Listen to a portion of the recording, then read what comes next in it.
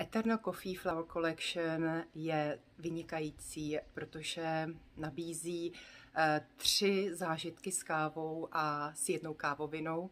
Eh, káva Chocolate Mint Wave na vás vás podpoří ve vaší rozhodnosti a v takové té síle jednat a přemýšlet. Rose Dream, to je krásná káva pro ženy, která vás Eh, pohladí a potěší. A ta káva, která dodává určitou harmonii, klid, sílu a tvořivost, je Jasmín Orange.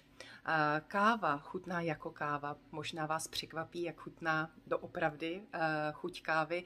A také ty příměsi, esenciální oleje, byliny, květy jsou příjemným, jemným dotekem. To znamená, nebudete pít mátový čaj, nebudete pít růžový čaj, ani a, pomerančovou šťávu. Je to stále káva doplněná o tyto esence.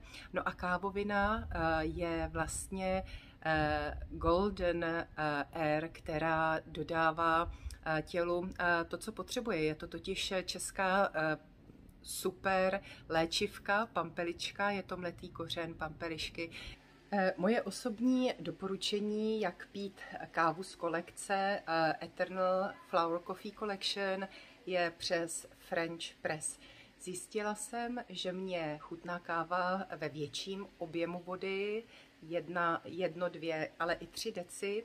Eh, do French pressu si dám dvě až tři ležičky kávy, eh, zaliji vodou, horkou nechám odstát pět minut, přefiltruji a naleju ideálně do porcelánového hrnečku nebo do sklenice.